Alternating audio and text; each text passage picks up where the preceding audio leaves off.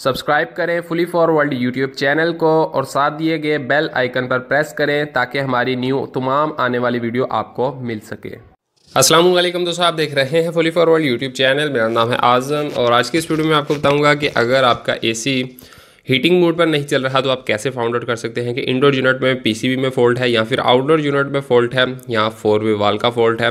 ये four way वाल लगा हुआ है जो कि हीटिंग मोड पर इसको कर देता है मतलब कि इसकी गैस को रिवर्स कर देता है जो कि आउटडोर यूनिट में हीट एग्जॉस्ट करने के बजाय इंडोर में आ जाती है जिससे। तो ये वॉल जो है, इसकी सिर्फ़ दो ही वायर्स होती हैं तो आप कैसे फाउंड फाइंड आउट करेंगे कि जब आपने रिमोट से सेटिंग भी बिल्कुल ठीक कर रखी है, लेकिन एसी हीटिंग पर नहीं आ रहा तो कैसे आप इसको फाइंड आउट करेंगे? बहुत ही आसान है। तो वीडियो का एंड तक ज़रूर देख लीजिएगा, आपको वीडियो से इजीली पता चल जाएगा कि कैसे हमने फाइंड आउट करना है कि इसमें कहाँ पर प्रॉब्लम है। वीडियो अगर आपको पसंद आए तो वीडियो को लाइक ज़रूर कीजिएगा चैनल पर नहीं है तो फुली फॉरवर्ड यूट्यूब चैनल को इस वीडियो के नीचे रेड बटन पर क्लिक करके सब्सक्राइब भी कर लीजिएगा, ताकि आपको ऐसी ही आगे भी वीडियोज़ मिलती रहे। तो चलिए फ्रेंड्स यहाँ पर फोरवे वाल का जो यहाँ पर एक कॉयल लगा हुआ है फोर वाल के ऊपर कॉयल लगा हुआ होता है, जिसके, जिसमें सप्लाई जाएगी तो ये यानी कि इसका जो प्लंजर है, इसके अंदर वो मूव कर देता है लेफ़्ट राइट करता है। तो इसकी सिर्फ़ दो ही वायर्स हैं, जो कि यहाँ से मैं फाइंड कर लेता हूँ, कहाँ पर जा रही है। दोनों वायर्स ब्लैक हैं और दोनों इनमें आकर लग गई ब्लू में। और ब्लू में लगने के बाद हम देखेंगे अब ब्लू कहाँ पर जा रही है। तो ब्लू को हम फाइंड कर लेंगे। ब्लू कहाँ पर जा रही हैं? ब्लू के ऊपर सप्लाई आएगी तो ये फोरवाल यानी कि चलेगा। यहाँ पर ब्लू जो है, आप देख सकते हैं, यहाँ पर आ चुकी हैं, जो कि ये है मतलब चार और पाँच पर ब्लू है। मतलब चार और पाँच पर सप्लाई आनी चाहिए करंट आना चाहिए 220 वोल्ट आएँगे तो हमारा फोर वे वाल काम करेगा। अगर नहीं आएँगे तो फोर वे वाल ही काम नहीं करेगा।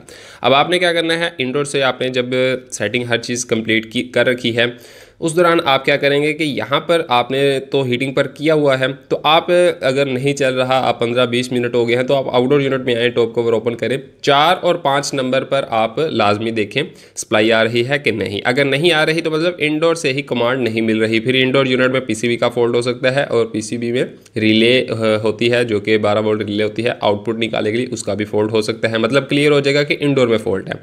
और अगर यहाँ पर वोल्ट आ रहे हैं 220 वोल्ट, यानी कि इन दोनों ब्लू वायर्स पर वोल्टेज आ रहे हैं, लेकिन फिर भी और नहीं हो रहा।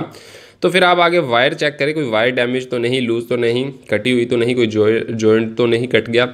अगर जॉइंट वगैरह हर चीज़ ठीक है, फिर आप ये चीज़ समझ लें कि इसका जो क्वाइल है जो फोर वाल का, वो ख़राब हो चुका है। इसको आप अलग से भी सप्लाई देकर, इन दोनों वायर्स को ब्लू को यहाँ से हटाकर, अलग से सप्लाई देकर भी आसानी से फाइंड आउट कर सकते हैं। इसको सप्लाई देंगे तो आपको आवाज़ आएगी, टिक, इस तरह करके कुछ आवाज़ आएगी, जिससे पता चल रहा होगा कि इसमें जो प्लंजर है, वो काम कर रहा है। क्वाइल उसको मतलब मूव कर रही है।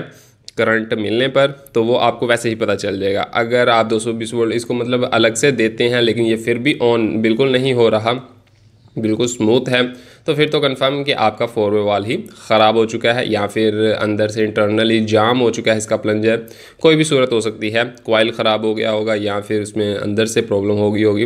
कई बार क्या होता है कोयल काम कर रहा होता है, इसका आवाज़ आ रही होती है, लेकिन अंदर से जो है, वो प्लंजर मूव नहीं हो रहा था। जाम होने की वजह से या किसी भी वजह से वो अंदर से मूव नहीं हो रहा होता।